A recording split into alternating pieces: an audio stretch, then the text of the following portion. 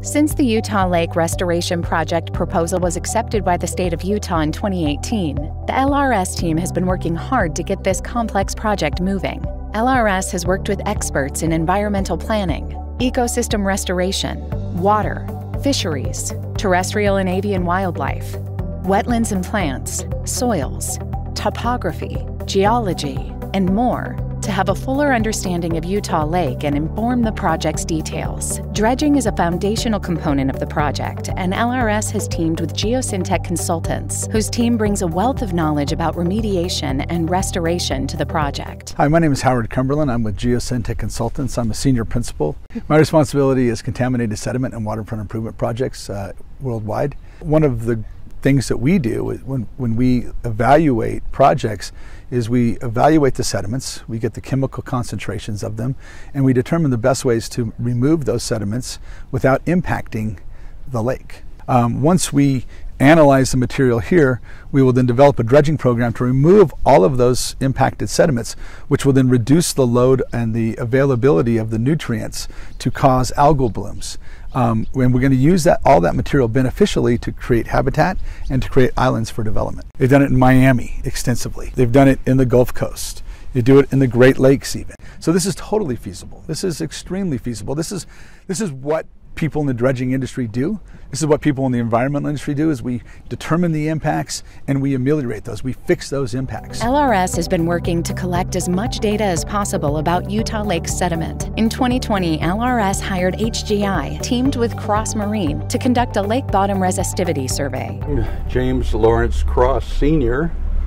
Um, I'm the president of Cross Marine Projects. My name's uh, Nigel Crook. I'm a senior geophysicist with Hydrogeophysics, and uh, we're out here on uh, Lake Utah doing a streamer resistivity survey um, for uh, lake restoration solutions.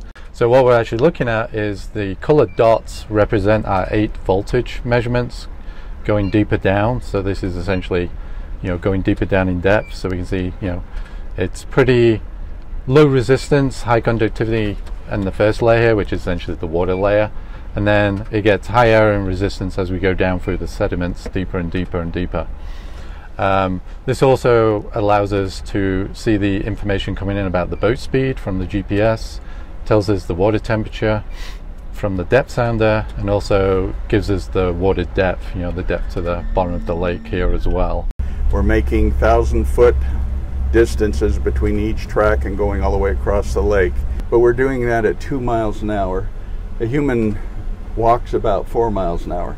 So this is a little like walking to California and halfway back as slow as you can walk.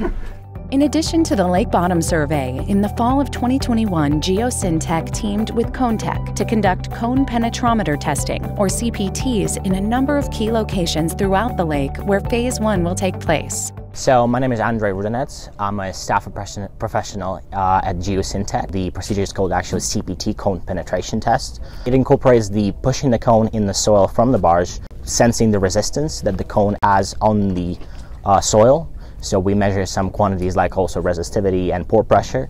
Pushing the cone down, we advance and getting all the log with all properties at each depth. So that will allow us to understand what the soil is and also the geomechanical properties of the soil that will be really crucial for the design. Additional CPTs will be conducted as the project progresses. In the coming months of 2022, core samples will be taken that can be physically examined for sediment properties and tested for any nutrients or other contaminants that may be present. In the summer of 2021, Geosyntec's team completed a comprehensive wetland verification of Utah Lake. Uh, my name is Tony Taylor. I work with Geosyntec Consultants and uh, I'm an ecologist with a background in ornithology. I'm Alex Mathis. I'm with uh, Geosyntec. I'm the uh, field lead for this project. So out here we have been doing uh, wetland verifications for the LRS around the lake. We're collecting field data for um, the boundary between the littoral shelf, which is your deep water, and the uh, vegetated shoreline, which is your wetland area. So what we're looking for uh, specifically here, so wetland delineations um, in the field typically consist of three variables, and that's hydrology, vegetation, and hydric soils. On the water quality side of things, our team has been running detailed models that assess the wave energy and circulation of Utah Lake, both in its current state and comparing it to what it would be like with islands. Technical review committees have been formed on fisheries and aquatic resources, and avian and terrestrial wildlife and habitat restoration. Modeling, input from experts, and data we have gathered have already informed the project design, and changes have been made to make the plan even better. Our focus is responsible restoration of Utah Lake that is driven by the best available science and research. We will continue to collaborate with world class experts and scientists to make sure Utah Lake is restored to it should be a treasured resource that everyone can benefit from and enjoy.